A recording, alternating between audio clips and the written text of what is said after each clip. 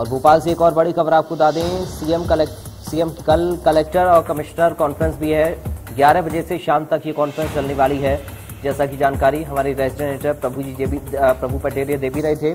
पहले तेरह सितंबर को ये कॉन्फ्रेंस होने वाली थी। वीडियो कॉन्फ्रेंसिंग के ज़रिए मुख्यमंत्री जिलों का हाल जानेंगे। प्रभु जी एक बार फिर से हमारे साथ मौजूद हैं। प्रभु जी, आप ज़िक्र भी अभी थोड़ी देर पहले कर रहे थे कलेक्टर कमिश्नर कॉन्फ्रेंस का। क्या कुछ इसमें होगा? देखिए पराग लगभग चार पाँच महीने के अंतराल के बाद कलेक्टर कमिश्नर कॉन्फ्रेंस होने जा रही है हम्म।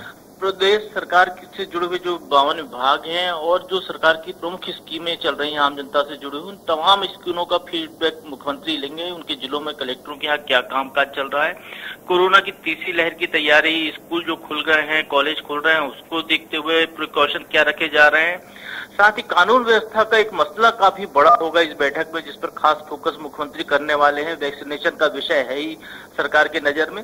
किसानों से जुड़े हुए मामले हैं कि किसको अभी समर्थन मूल्य पे खरीदी की तैयारियाँ कैसी चल रही हैं जिलों में और किसानों को अगली उपज के लिए खाद बीज का बंदोबस्त करना पानी का प्रबंध देखना प्रदेश में बिजली की क्राइसिस है तो उसको देखते हुए जिलों के हाल तो तमाम मसले जो सरकार से जुड़े हुए उस पर मुख्यमंत्री दिन भर लगभग सात घंटे करीब बैठक ही चलनी है शेड्यूल इसका है हम्म। और तीन सौ पेज से ज़्यादा का प्रेजेंटेशन है इसमें हम्म। अलग अलग विभागों से जुड़ा एक प्रेजेंटेशन कलेक्टरों को दिखाया जाएगा हर विषय से जुड़ा हुआ प्रेजेंटेशन होगा फिर उस विषय पर मुख्यमंत्री उन जिलों के हालचाल जानेंगे फीडबैक लेंगे अपने निर्देश देंगे तो एक तरीके से सरकार क्या चाहती है मुख्यमंत्री क्या चाहते हैं कि किस तरीके का प्रशासन नीचे तक डिलीवर हो हाँ। उस पर वो मुख्यमंत्री अपने दिशा निर्देश देंगे और क्या काम काज हो रहा है वो कलेक्टर अपना फीडबैक मुख्यमंत्री को देंगे तो ये हाँ। दो तरफा सूचनाओं का आदान प्रदान इस पूरे दिन में होने की संभावना है और वही बैठक चलेगी और पराग जैसा भी हम बात कर रहे थे इस हाँ। बैठक के तत्काल बाद मुख्यमंत्री ने कैबिनेट की बैठक बुलाई है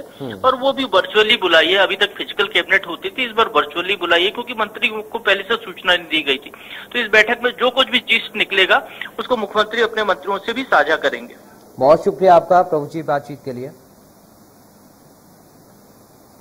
मध्य प्रदेश छत्तीसगढ़ की हर खबर सीधे आपके मोबाइल फ़ोन पर। सोशल मीडिया के हर प्लेटफॉर्म पर है। India news Madhya Pradesh Chhattisgarh.